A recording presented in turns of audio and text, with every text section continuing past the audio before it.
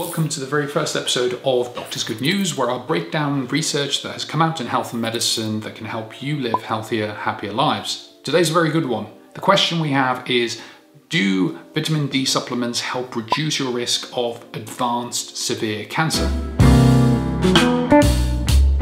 Okay, let's have a look at the study together. If you want to have a look at the uh, link, I will take you straight through to the study. Um, it's in JAMA, which is the Journal of American Medicines Association. It came out in November 2020, so fairly recent, but it's gone under the radar because of the whole COVID situation. But it's really important study, I think. It was started in 2011. Um, I think it's a Harvard research base, yep. And they wanted to look at whether giving a vitamin D supplement to a, a group of the population will actually reduce their chance of getting advanced late stage sort of cancers that could be fatal. So it's randomized, which means they had two population sets or they broke their population in half and they gave one group a placebo and they gave another group the vitamin D supplement. I think they used 2,000 units as the supplement. Massive sample size, 25,000, and they were all over 50 with no previous history of cancer and no vitamin deficiency. So that's also important. These are people who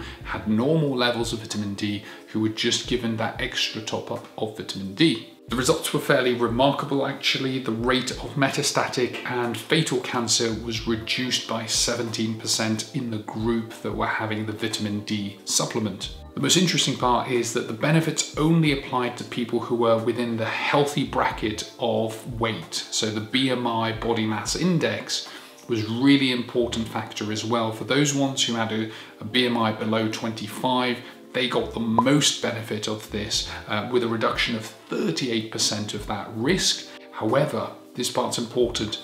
People who were overweight or obese didn't actually see any reduction in that risk if they were taking the supplement, meaning that taking a vitamin D supplement and having a healthy body weight can reduce a risk of advanced metastatic cancer significantly. In terms of the strength of the study, it's a large study of 25,000 participants and it's over five years following them. It's also randomized. These are all things that give the study strength. However, it was for participants over the age of 50, so we can't easily say it's going to be the same for a 15 year old. We can't generalize to all other age groups yet. More research, I think, needs to be done. The other thing that's interesting for me is trying to work out what effects obesity has on the vitamin D side of things. How has it dampened the beneficial effects of vitamin D?